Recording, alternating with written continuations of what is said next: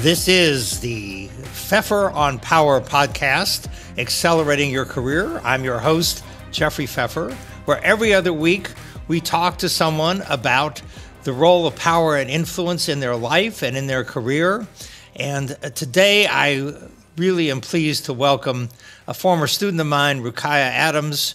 Rukaiyah got her JD as well as her MBA from Stanford Business School and then has forged a career in finance. And for those of you who need to be reminded, finance has trillions and trillions and trillions and trillions of dollars of assets under management, and fewer than 2% of those assets are managed by women or people of color. And Rukaiyah is a African American woman, so she is a relatively rare breed in the world of finance and financial management. She has most recently run the Meyer Memorial Trust, about a $750 million operation of investable assets. She serves on the board of directors of Oregon Public Broadcasting and at one point served as the chair of the Oregon Investment Council, the board that manages close to 100 million 100 billion, pardon me, dollars for the Oregon Public Employees Retirement Fund. Rukaiyah and she and I were joking just before we started recording, was asked to run for the mayor of Portland. Um, unfortunately, they asked her too late, so she said no. But this is an extraordinarily talented and amazing human being who has had just a fantastic career and really also is a person of fabulous values. So, Rukaiyah, thank you so much for joining me today. What a delight to talk with you, Professor Pfeffer. You look very good. Thank you. Well, you know, it's amazing. Anyway, so um, so I want to begin by taking you back. By the way, Rukaiyah is also quoted in my book, Seven Rules of Power. So I want to take you back to your graduation because you graduated during a recession, had uh, trouble, I think, launching your career. And I think out of that, uh, you learned uh, some lessons about power and how to use power to get yourself going. Could you talk about some of those early career challenges and what you did to overcome them? Sure. Yeah, I graduated from business school in 2008, law school in 1999. So I had almost a full decade of practice before business school. But when I graduated, the markets were declining we were just beginning to appreciate the seriousness of the great financial crisis and all of the opportunities I expected to have as someone who had nearly a decade of M&A practice under her belt plus the quantitative training of business school. I thought I'd have lots of options, but when it came time to actually choose a job and find a job in 2008, I really struggled. I didn't get offers from any of the big firms, and my friends who were lawyers who were beginning to enter the partnership track were trying to tell me to come back to the practice, and I didn't want to do that. But after months and months of trying, I found an opportunity at a hedge fund in New York that needed someone who could both negotiate and count. And I just happened to be the unicorn that they were looking for. And so, despite my desire to stay in California, I packed up and moved to New York, an entirely new place, and started over. In that job, I was in a new environment. Before that, professionally, I was in law firms, and law firms are very hierarchical and structured, very structured environments going into a hedge fund, it was more about talent and understanding how the business operated, how information flowed, what was valuable. And during that time, as a Black woman, I realized I was so rare in hedge fund practice. And over time, what I began to see was that my male peers had a different set of pressures and expectations that made risk taking much more difficult for them. And I didn't have kids, I was unmarried and totally different than everybody else. So I operated in the environment differently than most of my peers. And what I learned was I became an information node. So, all of the concerns that people had about what was happening in the markets after 2008, before we really appreciated what was happening in, say, 2009 and 10, if I had peers who were concerned about things, instead of being brave enough to speak up themselves, what they would do was tell me about it. And they told me because I was already so different than everybody else that I could raise the issue and not become a social pariah or be perceived as undermining anybody because nobody thought I was going anywhere anyway. So, what happened over time was that I ended up bartering critical information for both our investors and our senior managers. And over time, understanding that role helped me acquire power in the organization that led me to be promoted and to have the kind of experience that propelled me later in the career. Yeah, thank you. That was a great answer. And it really speaks to something that you said and that I wrote in Seven Rules of Power that because you, nobody, as you just said, didn't take you that seriously, you were not perceived as a threat. And people would tell you stuff that they would not tell anybody else. That's right. Not even perceived as a threat. It was more like I was like some kind of weird animal, a unicorn of some some sense, like a magical little animal, right? And I, I don't think people perceived me as anything other than odd at that point. And so it was great because that meant that I could be staffed on really important deals. I could have important conversations with people who are much more senior to me and be in spaces and have people basically ignore me. And as a result of that, I got a lot of social and technical information that I used later. Okay. And so then after the hedge fund, how did you wind up in Oregon? And tell us something about how you then uh, continued your career in finance. Well, this is where the, the personal and the professional intersect. So at the time, I was dating someone who lived in San Francisco and I was living in New York, and I didn't want to stay in New York, but I wasn't sure that the relationship was ready for me to move back to San Francisco. And I got very sick. I don't know if I've ever told you this story, Professor Pfeffer, but I got very sick and had to have a surgery that was a life threatening surgery. And I'll tell you, there's nothing like being near dead to clarify what's important to you. And that experience clarified a few things. The first was that I really wanted to be closer to my family. And the second was that I needed to make space for love. And I needed this professional life to have some capacity to to feed my spirit. And it felt to me like I really wanted to be back on the West Coast. Um, so that was the precipitating event that got me thinking, okay, I'm now 4,000, 3,000 miles away from my family. If something goes wrong, I'm very concerned about it. I'm also a runner. And in the winter in New York, I would bundle up and run from 131st and 6th in Harlem all the way down to Battery Park on 5th or 6th Avenue on the street. and you know, you do that for a few years and, and you really miss running on the West Coast in the winter. So that was another factor that pushed me back to the West Coast. Um, and I opted to come back to Portland. I'm a fourth generation Black Portlander. My family's been here for seven generations. I hadn't spent very much time in Portland since I was 17 and went to college. And so I decided to take a little bit of a sabbatical in Portland to hang out with my mom and, and just check in on her and see how she was doing for a season. And that turned into 10 years later, here I'm, I'm still here, but I had no intention of staying. It was really just a desire to run through the winter on the Pacific coast or somewhere close to the Pacific to feed my soul. So it was something personal that brought me back for sabbatical. And once I came, breathed in the air of the West Coast and of Portland in the winter, I felt like I needed to find a way to return to the West Coast. But people often tell their career stories as this series of rational, professional, and analytical decisions. And the truth for me is that the most important inflection points are the ones where I was open to what my spirit needed. The analytical, professional outcomes followed clarity, personal clarity. And describe for us how you did. I mean, you were really very prominent. I mean, your work for the Oregon Investment Council and the Oregon Public Radio and all these other things. I mean, you were really extraordinarily prominent and a powerful individual. And describe what things that you've used from the class you took, because you give me sometimes, I think, way too much credit about how important that class was for you. What lessons did you take from the class that have helped you uh, reach such a position of prominence? Well, a few things. First is interrogating power is that puts you at an advantage from the start because a lot of women in particular are hesitant to talk about, think about, and engage with the idea of power. So just that step alone, I think, put, puts you at an advantage. It also helped me to be sensitive to the times when I had power and I was uncomfortable.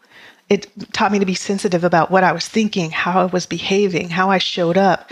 And I think just just having that tuning fork about power helped. The other thing I would say, Professor Pfeffer, that I have thought about over the years, and I don't remember if this was explicitly in your materials, but power doesn't come with a lightning bolt. You know, I, I think people think of it as like He Man, that one day you're on a mountaintop and there's a big lightning bolt and you get these bulging muscles and you get to shove everybody around. It doesn't happen that way. It happens over a meal. It happens in church basements. It happens when you help people. It happens when you carry groceries to someone's car because they have a bad hip. It happens slowly over time and I think the thing you helped me think about more than anything is to really think long term about the small steps it takes to accumulate influence, which is the way that I think about power, and really mapping out where do I want to have power? Where do I want to use my voice? What are the little steps in relationships and skills and networks and professions that I need to have to make those incremental steps?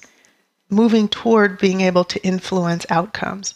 What I didn't learn, Professor Pfeffer, is what it feels like when you get there. I, I, I wasn't really aware of how influential I was. I knew I was taking those little steps. I had my plan. I was executing on the plan, but I I didn't realize when I sort of crossed over into being influential. And it really wasn't until I got that invitation to run for mayor that I thought, oh, people are really listening to me. Yes, people are people are definitely listening to you.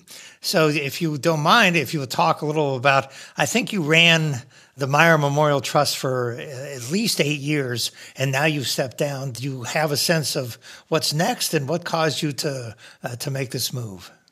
Yeah. So the number that you set out in the beginning of the program isn't quite right. So when I took over the Meyer Trust, the assets were 700 million when I left the seat, they were around 1.2 billion, and we had given away about half a billion. So during my tenure, the net contribution was about a billion dollars of growth in philanthropy in the community, and I I felt like that was enough to run money with relatively few people in a business where you're the only revenue source. People don't think of foundations as businesses, but they are. They're investment businesses where the only source of capital is investment returns, at least for those that don't raise money. And that pressure over time was exhausting. In that business format, what happens is the investors generate the revenue that supports the business and is shared with the community. But our grant makers basically are on a party boat. And the way it felt was that there's a big party boat and my team was in the back rowing.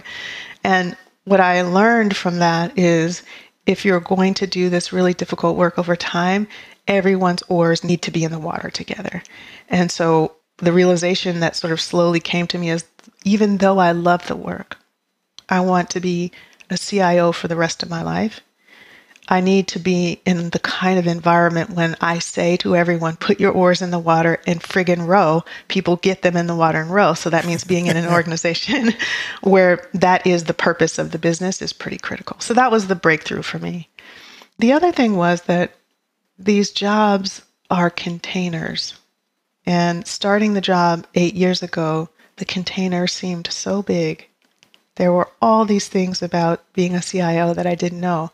I didn't understand the pastoral role, managing a billion dollars, how you calm someone who is the keeper of the billion when you're the CIO. There's a spiritual part of the work. I didn't understand any of that. The containment seemed so big and so exciting. Well, seven, eight years later, the container seemed small. I was spilling over the edges, thinking about investing not in purely quantitative terms, but years and years of doing calculus, first derivatives, second derivatives by hand, the curves suddenly become art. They become something else. And I couldn't talk about new forms of capital. I couldn't talk about the ways that I wanted capital to evolve. I needed to just make the money. And so all of a sudden the container felt small and I felt like it was time to move on. And maybe my ultimate power move, Professor Pfeffer, is choosing to do that without certainty about the next step and to say that publicly. Mm-hmm. So you don't know yet what you're going to do next?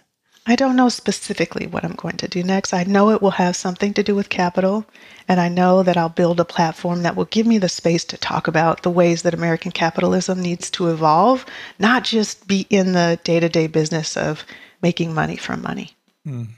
That's a wonderfully powerful statement. And I like how you talk about that. And by the way, for people who don't know, CIO stands for Chief Investment Officer. And it sounds like a job that you did extraordinarily well at and that I'm sure you will do again. And the uh, final thing I want to talk to you about, because you've raised it implicitly, but I want you to actually talk about it more explicitly, is in fact the challenge that I think successful women often face.